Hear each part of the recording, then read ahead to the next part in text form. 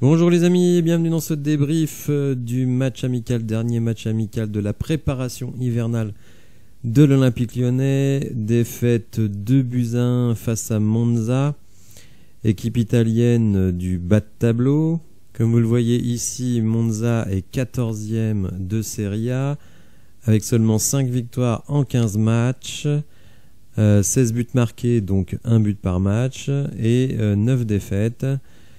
Et euh, bah, nous, l'Olympique lyonnais, qui sommes 8 de Ligue 1, nous sommes pas capables de battre une équipe 14e de Serie A. 2 buts 1, euh, on va dire que c'est presque bien payé dans le sens où on marque dans les arrêts de jeu et que Anthony Lopez nous sauve deux ou trois euh, à, deux ou trois reprises un 3-0 qui, on va dire, a été plutôt conforme à ce qu'on a vu. Alors devant un stade euh, vraiment très très peu rempli, ah, c'est vrai, on est jeudi 19h, mais bon, c'est quand même les vacances de Noël, et vous le voyez à l'écran, eh bien, euh, il n'y avait pas grand monde dans les travées au moment où les équipes sont présentées. Bon, c'est pas du tout une critique envers le public, hein, attention, c'est que tout simplement, on constate petit à petit bah, que l'Olympique lyonnais, ça n'intéresse plus grand monde. Euh, la vente, qui est quand même quelque chose de majeur, je pense, pour la Ligue 1. Alors c'est vrai, bon, un peu éclipsé par la Coupe du Monde, faut le reconnaître, mais euh, la vente quand même du d'un des trois grands clubs de Ligue 1 euh, finalement fait très très peu parler. Et vous le voyez, même dans l'entourage lyonnais, finalement, à moins d'une semaine de la reprise du championnat, on peut pas dire que l'OL déchaîne les foules. Alors à travers le 11 de départ qui était présenté aujourd'hui, on se rend compte eh bien que Laurent Blanc finalement fait désormais confiance à certains joueurs euh, malgré leur production extrêmement décevante et malheureusement eh bien euh, les choses n'évoluent pas. Moi je trouve que il avait plutôt bien commencé dans les matchs de préparation justement en faisant des rotations.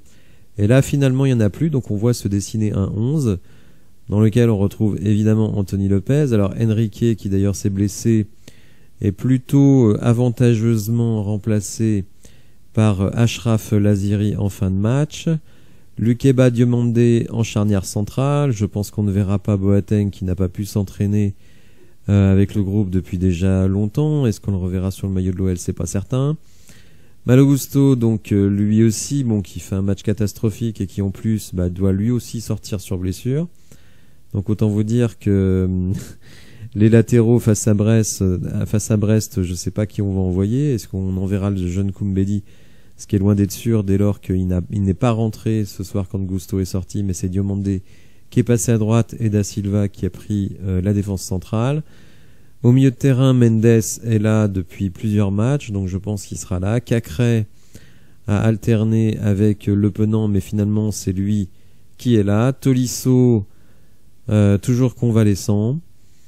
Euh, euh, des tirs de grand-mère, comme d'habitude. Et Dembélé et la casette qui adorent jouer ensemble, mais dont il faut bien reconnaître que leur association ne produit absolument rien, puisque c'est la sixième fois que Dembélé et la casette sont titularisés ensemble, et que dans ces six fois, Dembélé n'a jamais marqué. Alors, comme dans tous les autres matchs de préparation, l'Olympique lyonnais est l'équipe qui ben, a concédé l'ouverture du score. 5 fois en 5 matchs, y compris face à des équipes de trompettes, euh, comme Monza ou Sochaux. Hein, désolé euh, s'il y a des supporters de ces équipes qui m'écoutent, mais disons que face à l'Olympique lyonnais, normalement, il devrait même pas y avoir photo, d'autant qu'on a joué deux fois face à ces équipes à domicile. Alors certes, avec un public clairsemé, mais malgré tout, à nouveau, on concède des ouvertures euh, du score.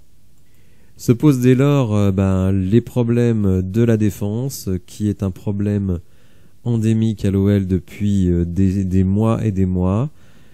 Euh, Laurent Blanc considère que les défenseurs de notre équipe sont beaucoup trop jeunes et qu'en plus ils ne sont absolument pas mis en concurrence. Et ben, malheureusement, c'est encore ce que l'on voit entre les erreurs de placement, les erreurs techniques, les erreurs individuelles eh bien des joueurs qui sont portés au nu comme Lukeba et Gusto, eh bien euh, font à peu près euh, n'importe quoi. Surtout Gusto, qui je trouve est très très mauvais cette saison, vraiment, euh, calamiteux. Alors si un club vient imposer 15-20 millions, il faut absolument le vendre immédiatement. Alors Lukeba c'est moins pire, mais bon, il fait, bah, c'est lui qui concède l'ouverture du score face à Sochaux. Et ce soir, il fait encore des erreurs, il perd un ballon très très chaud qui amène au premier but. Alors certes, il marquera dans les arrêts de jeu, mais c'était de toute façon beaucoup trop tard, les erreurs étaient faites. Alors il y a certes euh, des, erreurs individuelles, euh, mais il y a aussi euh, des erreurs de coaching. Moi je suis désolé, mais alors on est en 4-4-2, mais c'est un 4-4-2 losange. Hein. Vous avez Thiago Mendes qui est devant la défense, vous avez Tolisso à gauche et Cacré à droite, et Awar en numéro 10. Et je suis désolé, mais ce système ne fonctionne absolument pas. Et ça fait trois ou quatre matchs consécutifs que Laurent Blanc s'entête avec ce système, qui à l'évidence ne fonctionne pas. Alors il ne fonctionne pas pourquoi?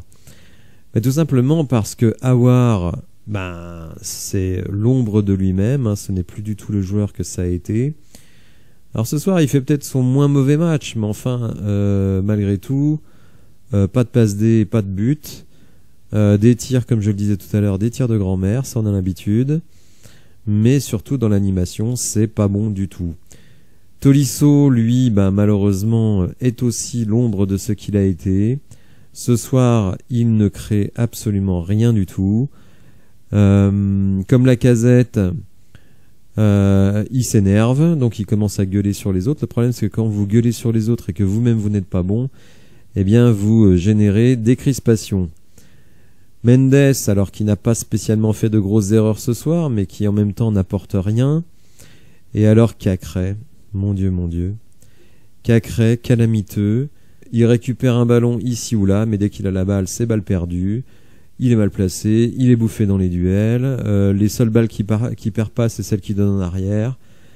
Donc finalement, on se retrouve avec euh, un milieu de terrain qui l'an passé était notre force, mais qui aujourd'hui eh bien, est un vrai euh, problème dans notre équipe, d'autant que quand vous faites rentrer les remplaçants, que ce soit Fèvre ou Jeffrey Nadelaïde, et même Le Penant, le pauvre Le Penant qui était le joueur sans doute le plus régulier depuis le début de la saison, et eh bien qui dans cette préparation est en très nette baisse.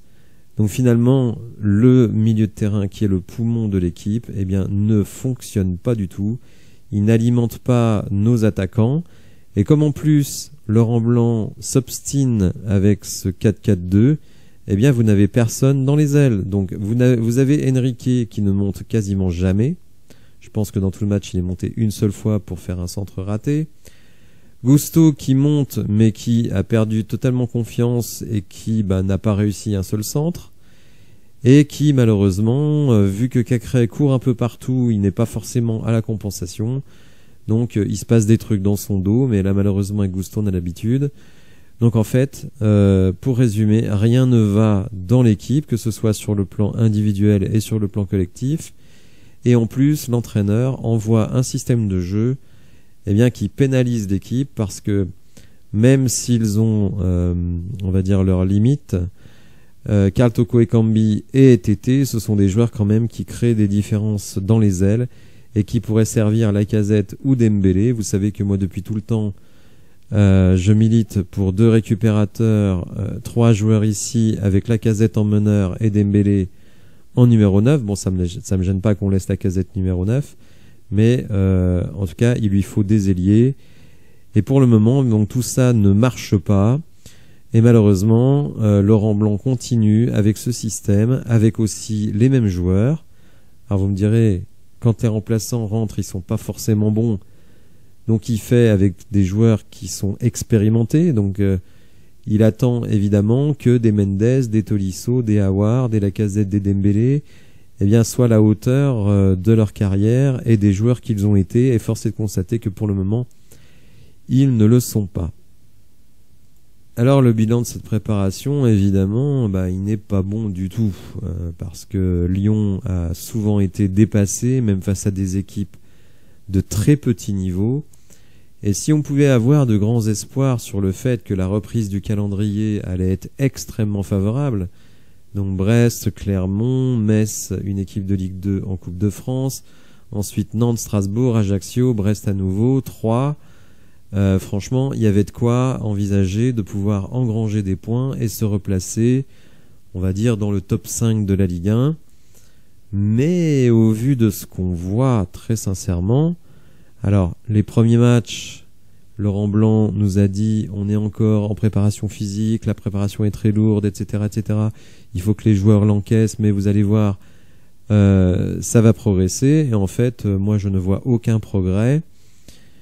Euh, physiquement, bon, oui, il y a peut-être, du mieux, mais quand le pressing, par exemple, est enclenché, eh bien, il n'est pas du tout coordonné. Donc, vous avez un ou deux mecs qui vont au pressing et derrière, il y a des trous immenses. Et parfois, quand on avance, on va dire de manière relativement coordonnée, on manque d'agressivité.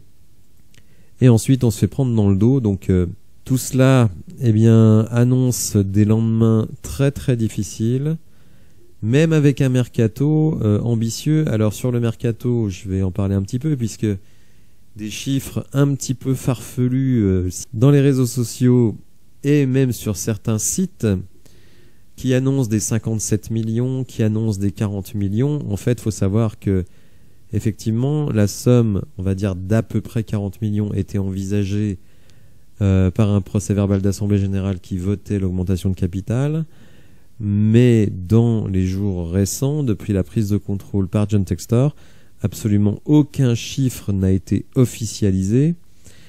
Et euh, il faut s'attendre évidemment à un mercato à minima avec des joueurs en fin de contrat ou avec des joueurs prêtés. Donc il faudra certainement pas s'attendre à des merveilles de ce côté-là et donc a priori une fin de saison extrêmement délicate. Très sincèrement, euh, j'ai eu un petit espoir en me disant que avec une préparation physique adaptée, euh, l'OL pourrait redevenir relativement, je dis bien relativement parce qu'il faut pas faut pas rêver face à des Rennes, face à des Lens, face à des Paris Saint-Germain, euh, on n'est pas invité. Mais je me disais que face à des équipes du bas ou du milieu de tableau, avec la qualité technique que sont qui est censé avoir nos joueurs, et une condition physique optimale, on pourrait sans doute s'en sortir. Là, euh, maintenant, j'en doute fortement. On a encore un peu moins d'une semaine de travail, hein, puisqu'on va reprendre le 28 décembre à, 10, à 20h, à 21. On va reprendre le 28 décembre à 21h, donc à Brest. Mais très sincèrement, moi, sur ce que je vois, euh, je vais certainement pas vous garantir une victoire. Voilà, j'espère que vous avez apprécié la vidéo. Si c'est le cas, n'hésitez pas à la liker, à vous abonner à la chaîne. Et si je n'ai pas l'occasion de vous reparler d'ici là, je vous souhaite de joyeuses fêtes. Et je vous dis à bientôt pour de nouvelles infos. Merci, au revoir.